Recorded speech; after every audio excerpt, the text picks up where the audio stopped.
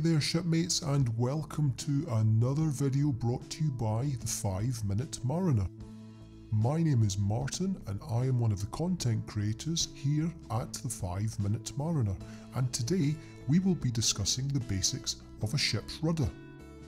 In this lesson we will explain the principles of why a ship turns and which way it turns depending upon how the rudder is moved. So let's start with the basics.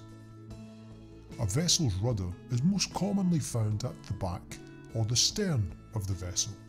In this example, the size of the rudder has been exaggerated to make it easier to visualise. As the vessel moves forward through the water, a flow of water moves from front to back or from bow to stern and across both sides of the rudder. Now, with close attention to the rudder, as the water flows past, the water molecules interact and strike both sides of the rudder. This causes a force on both sides of the rudder, and this force increases depending upon how fast the vessel is moving. The force hitting both sides of the rudder creates a pressure, and pressure is the key principle of how a rudder functions.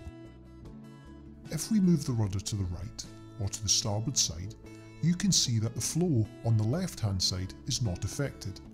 This means there is little to no contact of water molecules against this side. However, when we compare the flow on the right hand side, you can see that the amount of water molecules hitting this side has increased because the flow of water is being blocked. This is key because this creates a difference in pressure. On the left hand side of the rudder, the flow is not blocked, and so there is little to no force on this side, and hence a low pressure. On the right hand side, the flow is blocked, and so there is a large force on this side, and hence a high pressure.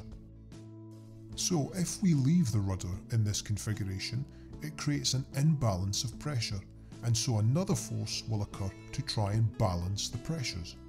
Remember, pressure moves from high to low never the other way. The force created, which we will call the balancing force, pushes on the side blocking the flow of water, just like holding your hand out of a moving car's window.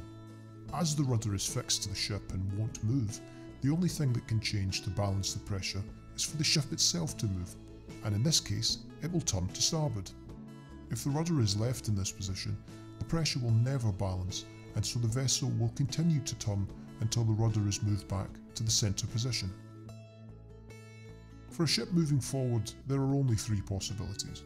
If the rudder is moved to starboard, the difference in pressure will turn the ship to starboard. If the rudder is in the centre position, the pressure on both sides is equal, and so there is no force trying to turn the ship. If the rudder is moved to port, the difference in pressure will turn the ship to port. And that's it. Simple.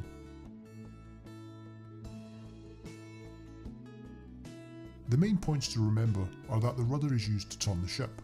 Moving the rudder to either side creates a difference in pressure, which in turn creates a force that will try to balance the pressure. The force will cause the ship to turn to port or starboard until the rudder is centralised. Thank you for watching this video, and don't forget to like, comment and subscribe for more content.